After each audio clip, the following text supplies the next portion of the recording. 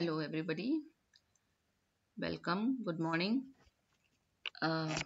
आज हम लोग एक इंपॉर्टेंट टॉपिक डिस्कस करेंगे। इंपॉर्टेंट है और बहुत कॉमन है और बहुत मिसकंसेप्शन भी है इसके बारे में, है ना? देखने से आसान लगता है, हमें लगता है कि हमें इसके बारे में पता है, लेकिन अक्सर हम इसके बारे में गलत जानकारी रखते हैं। तो इसके लिए आपके सामने ये टॉपिक और एक एक्सक्यूज़ ये कि मेरा लैपटॉप कुछ गड़बड़ कर रहा है। इसलिए मैं पीपीटी शो नहीं कर पा रही हूँ, इसलिए मुझे वर्ड फ़ाइल से ही आपको समझाना पड़ेगा। हम्म क्योंकि कुछ कीज इसकी काम नहीं कर लेकिन ये रिकॉर्ड करना ज़रूरी था। तो आईसीटी इन एजुकेशन इतना इंपॉर्टेंट इतना कॉमन सा इस वक्त लगने लगा है। क्यों? क्योंकि इसको हम लोग अब फील करते हैं ऑब्ज़र्व करते हैं प्रैक्टिकली हमने करके देख लिया है। यही अभी दो तीन साल पहले हम लोग जब आईसीटी के बारे में पढ़ते थे तो पढ़ाने वाला भी इन जनरल सिर्फ़ थेरी जानता था और पढ़ने वाला तो थेरी जानता ही था। हम्म क्योंकि हम लोग बस बात कर लेते थे कि हम किस तरह से आईसीटी को एजुकेशन में यूज़ कर सकते हैं, क्या इसका फंडामेंटल है, क्या इसके यूसेज हैं, क्या इसकी प्रॉब्लम्स हैं, क्या कॉन्सिक्वेंसेस हो सकते हैं। लेकिन अब पिछले दो सालों से मेनली कोरोना पेंडेमिक की वजह से जब हम सब लोगों को ऑनलाइन मोड में शिफ्ट होना पड़ा तो हम लोग आईसीटी को बेहतर समझ पा रहे हैं अब। क्यों? क्योंकि हम सबने देख लिए हैं। इसके प्रयोग भी, इसके प्रयोग में होने वाली दिक्कतें भी और इसके प्रयोग से होने वाले लाभ भी। हम्म? तो सबसे पहले तो ये जाने प्लीज़ मेरी काम नहीं कर रही है, इसलिए मैं हाईलाइट डिलीट ये सब उसमें हो नहीं रहा है। आज आप इसको ऐसे ही समझ लीजिए। आईसीटी इन एजुकेशन सबसे पहले तो हम जाने आईसीटी का फुल फॉर्म क्या है। बहुत बहुत कभी कभी जानकार लोग भी इसको इंफॉर्मेशन एंड कंप्यूटर टेक्नोलॉजी समझते हैं।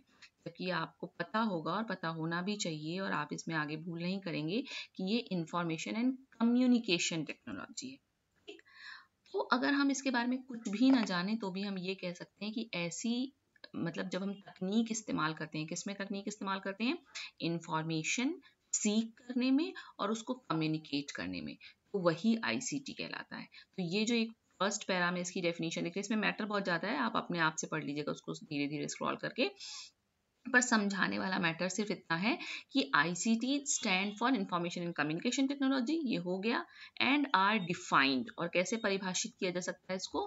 For the purpose of this primer as a diverse set of technological tools मतलब कि टूल्स हैं, कैसे टूल्स हैं? टेक्नोलॉजिकल टूल्स हैं और डाइवर्स सेट है मतलब एक तरीके का नहीं है, बहुत तरीके के हमको टेक्नोलॉजिकल टूल्स मिले हुए हैं एंड रिसोर्सेज यानी हमारे पास उपकरण भी हैं, हमारे पास संसाधन भी हैं, किसके लिए?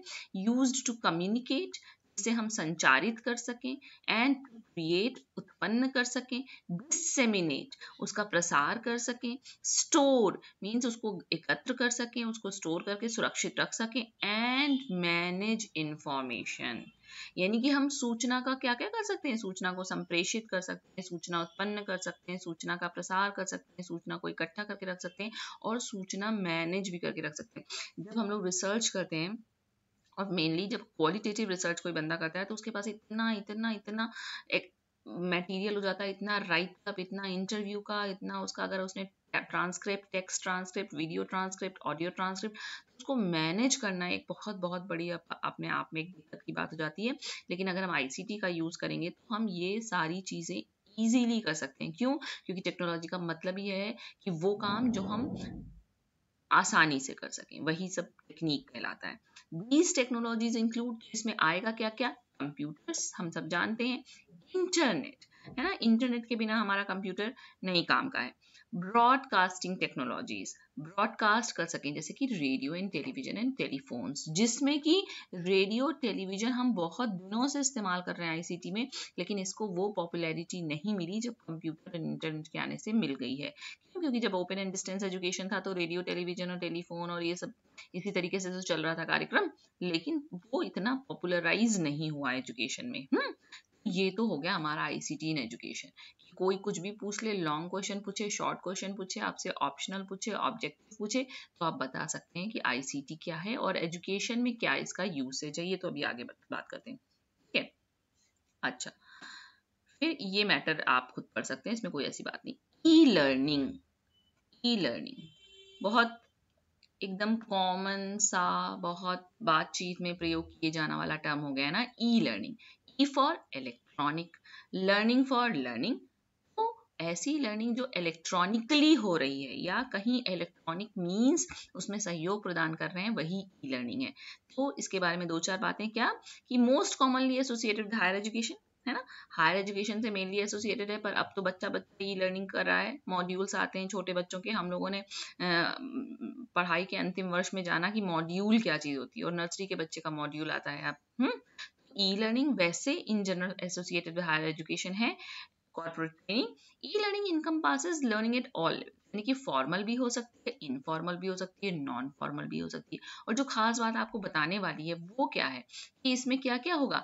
इंटरनेट और एक इंट्रानेट या एक्स्ट्रानेट भी होगा, यानी कि लोकल एरिया नेटवर्क या लैन और वाइडर एरिया नेटवर्क या वैन हम्म। किसके लिए? फॉर कोर्स डिलीवरी ताकि हम आपके सामने डिलीवर कर सकें कोर्स इंटरैक्शन आपसे अंतर संबंध सह संबंध स्थापित हो सके इवेल्युएशन आपका मूल्यांकन हो सके एंड और फैसिलिटेशन या हम ये सारी चीज़ें अगर हम फैसिलिटेट करना चाहते हैं चाहते हैं कि अच्छी तरीके से हो जाए, आसानी से हो जाए तो उन सब चीज़ों के लिए ई लर्निंग की ज़रूरत है। Others prefer the term online e learning e तो है तो ऑनलाइन तो अपने आप ही है।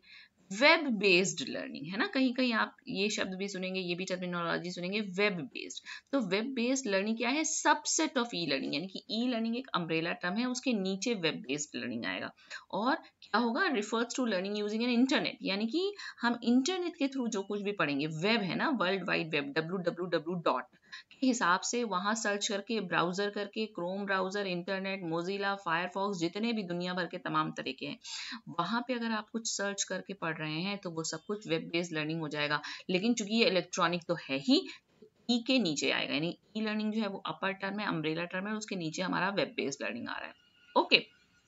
और it can also be viewed as learning through the use of electronic ये तो हमको पता ही है कि जब हमने लर्निंग को इलेक्ट्रॉनिक मीन्स की सहायता से कर लिया, वो लर्निंग ई लर्निंग हो गई। देखिए, मैं बहुत इन शॉर्ट बता रही हूँ आपको, है ना? और मैंने पीपीटी में कुछ और उसमें ऐड करने की कोशिश की थी but unfortunately I am unable to show it you because my computer has some problem today, but I have to upload this material of my students.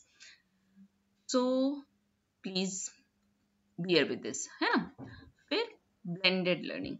Blended learning में क्या है कि what is blended learning blended learning blend किया गया है, किसको blend किया गया यानी कि ब्लेंडेड का मतलब ये हो गया कि हमने कुछ दो चीज़ों को मिलाया है।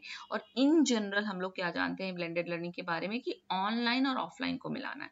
लेकिन ये मिलाना इतना आसान नहीं है, ना हम उसको इतने सही शब्दों में, सही अर्थों में हर समय समझते हैं।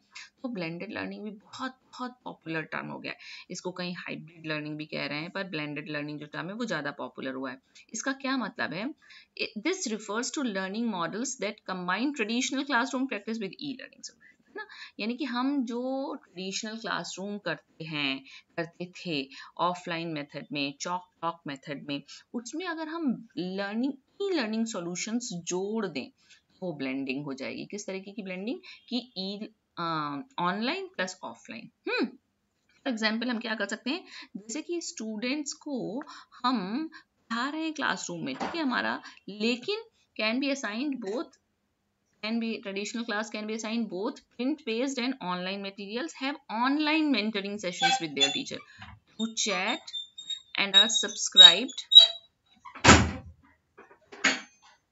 class email list है ना? यानी कि हम क्या कर सकते हैं कि ट्रेडिशनल क्लास है, लेकिन हम उनको सिर्फ़ चॉक एंड टॉक मेथड से ना मटेरियल प्रोवाइड करें प्रिंट बेस्ड मटेरियल दे दें, हम उनको कुछ ऑनलाइन मटेरियल दे दें, है ना? जैसे हमने उनका कोई गूगल क्लासरूम बना रखा है और वहाँ पे हम उनको हम, हमारी सारी सिचुएशन नॉर्मल हो गई है, अब हम क्लासरूम में चले गए पर हमारा एक कोई ऑनलाइन प्लेटफॉर्म तो बन ही सकता है ना? हम क्या करें? जाएँ, वहाँ उनको पढ़ाएँ, लेकिन हम उनको मटेरियल दे दें इन एडवांस दे दें, वहाँ उनका इवेलुएशन कर लें, इस तरीके के काम कर लें। तो ये क्या कहलाएगा? ब्लेंडिंग हो जाएगी। या कर सकते हैं क्या? वेब बेस्ड ट्रेनिंग कोर्स चल रहा है। हम्म कोर्स तो हमारा वेब बेस्ड है, लेकिन हम क्या करें कि कभी कभी हम इंस्ट्रक्टर से ऑफलाइन भी मिल लें। कह रहा है ना कि web based training course can be enhance by periodic face to face instruction कि हमारी चल रही है वेब बेस्ड पढ़ाई ऑनलाइन कोर्स है, लेकिन टोटली ऑनलाइन अगर के कुछ लेक्चर्स हम उसको सिंक्रोनस मोड में ले आए, कुछ हम ऑफलाइन कर लें, कुछ हम इंटरेक्शन करा लें तो इस तरह से सिचुएशन बेस्ड जिससे हमारा सबसे फ़ायदा क्या होगा? फ़ायदा ये है कि हम बेस्ट आउटपुट निकालना चाहते हैं। बेस्ट आउटपुट निकालना चाहते हैं, इसलिए हमने ऑनलाइन और ऑफलाइन को जुडिशियसली मिक्स कर दिया है। ताकि हम क्या कर सकें कि ऑप्टिमम मिक्सचर हो जाए इंस्ट्रक्शन और डिलीवरी मेथड का, ताकि ऑप्टिमम लेवल पे हम लर्निंग आउटकम्स को अचीव कर पाए। ओके फिर एक टर्म जो बहुत पॉपुलर है आजकल, वो है एंड डिस्टेंस लर्निंग है ना What is open and distance learning? Open and distance learning is defined by the Commonwealth of Learning as a way of providing learning opportunities that is characterized by the separation of teacher and learner in time or place or both time and place. और भी बहुत कुछ है आप पढ़ सकते हैं उसको क्या कह रहे हैं कि इसकी मेन जो सबसे खास बात है वो ये है कि जो टीचर है और वो जो लर्नर है, वो एक समय और एक स्थान पे एक साथ नहीं है। या तो एक समय नहीं है, या एक स्थान पे नहीं है, या ना तो एक समय पे और ना एक स्थान पे है। तो वो ऐसी जितनी भी लर्निंग होंगी, ऐसी जितनी भी अपॉर्चुनिटीज़ हम लर्नर को प्रोवाइड कर सकते हैं, वो सब कुछ ओपन और डिस्टेंस लर्निंग में आ जाएगा। हम्म मतलब खुला हुआ है डिस्टेंस मतलब दूरी है खुला हुआ इन द सेंस कि हमने आप पे कोई बाउंडेशन नहीं लगाया है कि अभी आपका एडमिशन होगा अभी आपको एग्ज़ाम देना अभी सर्टिफिकेशन है लिबरल है फ्लेक्सिबल है ये सब लोग जानते हैं। लेकिन फिर भी आ, बताने के लिए। फिर what is meant by a learner अच्छा एक बात सॉरी सॉरी सॉरी ये जो कि मेरा पीपीटी नहीं था तो मैं मेरे से मिस हो गया। ब्लेंडेड लर्निंग के बाद में जो आपको चीज़ बताना चाह रही थी वो थी है फ्लिप्ड क्लासरूम हम्म ये टर्म भी बहुत बहुत बहुत ज़्यादा पॉपुलर है और जनरली अब तो लोग जाने लगे हैं इसके बारे में बातचीत होने लगी है, इसका प्रैक्टिकली हम लोग इसका यूज़ करने लगे हैं, लेकिन फिर भी अगर आप नहीं जानते हैं तो इसको ज़रूर जान लीजिए कि फ्लिप्ड क्लासरूम का मतलब है हमने क्लासरूम को फ्लिप कर दिया है। क्लासरूम को फ्लिप नहीं किया है क्लासरूम में एक्चुअली जो होता था, उसको फ्लिप किया। तो क्लासरूम में होता क्या था? क्लासरूम में ये होता था कि टीचर क्लास में जाता था, वो कोई कंटेंट आपको पढ़ाता था और घर से आपको होमवर्क करके लाने को देता था। हम सबने अपने बचपन की और ऑलमोस्ट सारी पढ़ाई ऐसे ही की है। तो जब हम आपको पढ़ा रहे हैं, जब हम आपको इंस्ट्रक्शन प्रोवाइड कर रहे हैं इन्फॉर्मेशन प्रोवाइड कर रहे हैं तो हम लर्निंग के कौन से, हम कॉग्निटिव डोमेन के कौन से लेवल पे हैं? नॉलेज कॉम्प्रीहेंशन एप्लीकेशन तो हो नहीं रहा है ना? यानी कि ये सब क्या है? एलओटी एलओटी मीन्स लोअर और LOTS lots lots means lower order thinking skills तो लोअर ऑर्डर थिंकिंग स्किल्स में तो क्या है? टीचर जो है वो स्टूडेंट के साथ है, यानी कि हम अगर वाईगॉट्स के हिसाब से देखें तो हम जेड पी के स्टेट में है ना? कि टीचर की प्रेजेंस में बच्चा अच्छे से सीखता है। यही है ना जेड लेकिन हम घर में क्या कहते थे, उसको सवाल करके लाने को एक्सरसाइज रीजनिंग बेस्ड एनालॉजी और सारे सवाल हम उसको घर से बोलते थे करके लाने के लिए। तो घर में वो क्या यूज़ कर रहा है? HOTS hots means higher order thinking skill क्यों? क्योंकि वहाँ वो एप्लीकेशन एनालिसिस और सिंथेसिस का काम कर रहा है जबकि वहाँ पर टीचर उसके पास नहीं है मोर नॉलेजेबल पर्सन उसके पास नहीं है इन जनरल है ना? हमने क्या किया? पूरी फिलोसफी को ही फ्लिप कर दिया कि हम क्लास में तो हम इंफॉर्मेशन यानी लॉट्स को कब करेंगे?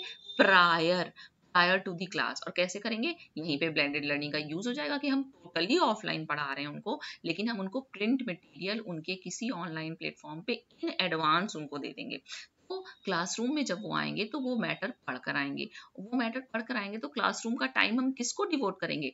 हॉट्स के डेवलपमेंट के लिए एप्लीकेशन एनालिसिस और सिंथेसिस के लिए। और टीचर की प्रेजेंस में पीयर लर्निंग हो रही है, वहाँ ग्रुप लर्निंग हो रही है कोलेबोरेटिव लर्निंग हो रही है कोऑपरेटिव लर्निंग हो रही है। तो स्टूडेंट बेहतर सीख सकता है और हम उसको हॉट्स के इनकलकेशन के लिए इम्प्रूवमेंट के लिए टाइम दे सकते हैं, जो कि नॉर्मल ट्रेडिशनल क्लासरूम टीचिंग में हमारे पास नहीं होता था। क्योंकि हम उनको कंटेंट कंटेंट और कंटेंट ही सिर्फ़ प्रोवाइड कर पाते थे, है ना? तो ये बहुत इंपॉर्टेंट और बहुत बहुत ब्लेंडेड लर्निंग का एकदम most powerful most promising feature है फ्लिप क्लासरूम और हमें पता होना चाहिए उसके बारे में।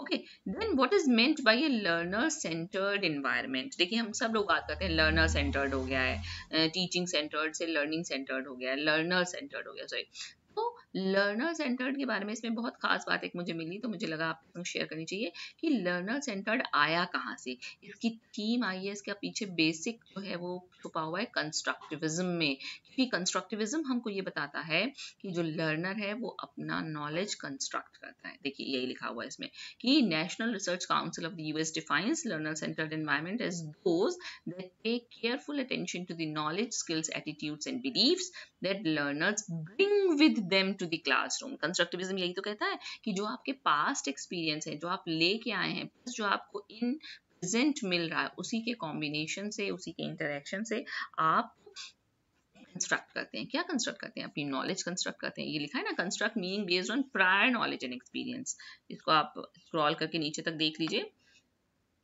कि इसमें बहुत खास बात है form of constructivism called social constructivism अच्छा देखो कंस्ट्रक्टिविज्म तो है ही कंस्ट्रक्टिविज्म में भी कई तरीके के तो उसमें जो सोशल कंस्ट्रक्टिविज्म है, वो बहुत इम्फेसिस करता है हमारी क्लासरूम टीचिंग लर्निंग को, जो कि लर्नर सेंटर्ड एनवायरमेंट हो गई है। अधिगम करता आधारित वातावरण हमको देना है। अधिगम करता केंद्रित वातावरण हमको देना है ताकि अधिगम करता जो है, वो प्राइम रोल फेस करे प्राइम रोल प्ले करे और जो टीचर है वो क्या रोल प्ले करेगा? फैसिलिटेटर का। सोशल कंस्ट्रक्टिविज्म हम का हम नाम क्यों ले रहे हैं? क्योंकि हमारा इन्वायरमेंट है ना तो उसमें teacher parent peer group community members helping member सबका सबका रोल है। तो जो लर्नर है, उसको मास्टरी कंसेप्ट अटेनमेंट की प्रोवाइड करने में ये सभी लोग मदद करते हैं और वो अपनी नॉलेज का कंस्ट्रक्शन खुद करता है।